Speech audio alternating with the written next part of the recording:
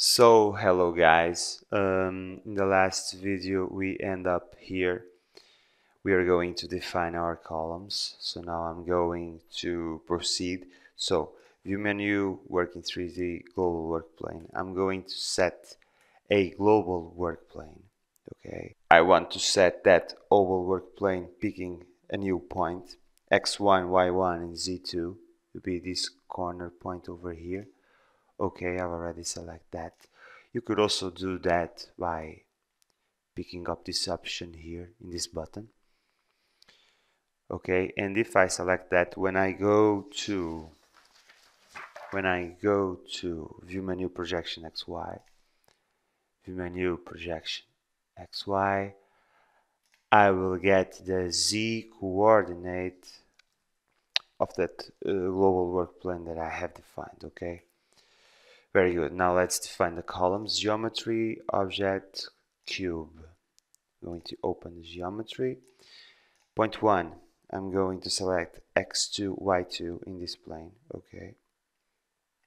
x2, y2, x3, y2, and x3, y3. I'm going to make a height of 3 meters. Apply. Now I'm going to copy this object that I have defined. I'm going to copy it up in the y direction okay? Geometry sorry. Edit. Move or copy. I could also press alt EEM 0 4 0 and enter.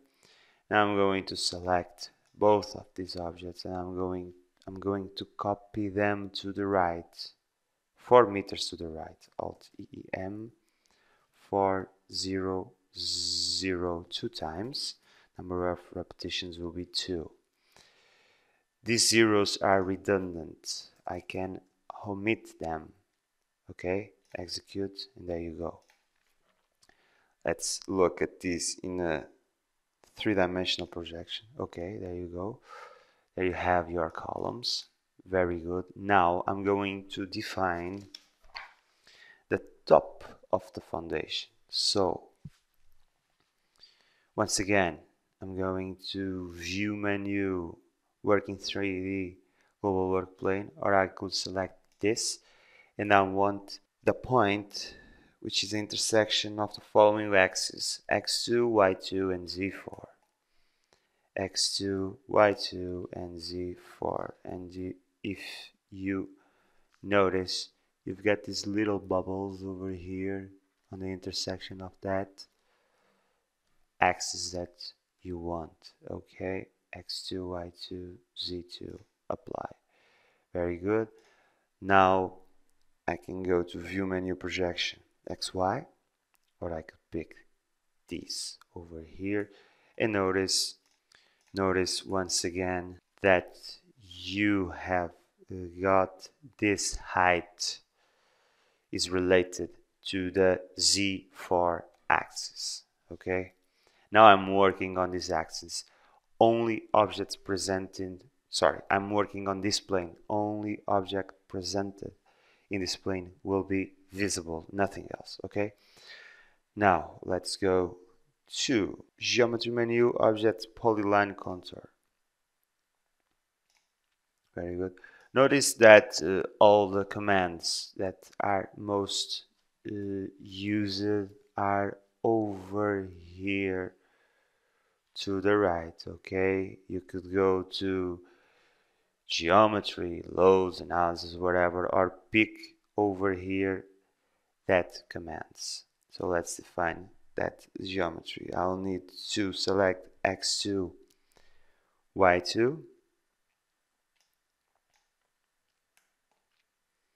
x2 y2 over here x7 now x7 y2 over here x7 y5 over here and over here. Very good. Now I need to extrude this face that I have defined so I'm going to geometry menu panels or I could also pick this over here going to call this a face as I have explained in the later in the previous video that I have uh, made. I'm select this, okay. Going to close, I'm going to select that, which is object number 8. Go to geometry menu, objects, extrude.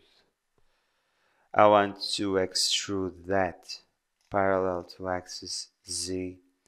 The height will be 0.5, but I want it to go down this time, minus 0.5. The division numbers will be, once again, 1, okay? Now I'm going to apply and close. I'm going to pick the birdhouse over here and there you go. There you have uh, your uh, 3D solid structure. Wireframe, you've got this and you can see all the objects because you are watching this in wireframe. Everybody who, who works, everybody who works with Revit knows what the wireframe view is You've got shaded here and hidden over here. I like the shaded one, okay? Now let's define the supports. I need to close this and go to supports. I'm going to create a new icon. On the elastic tab, you've got the rigid one here and the elastic over here.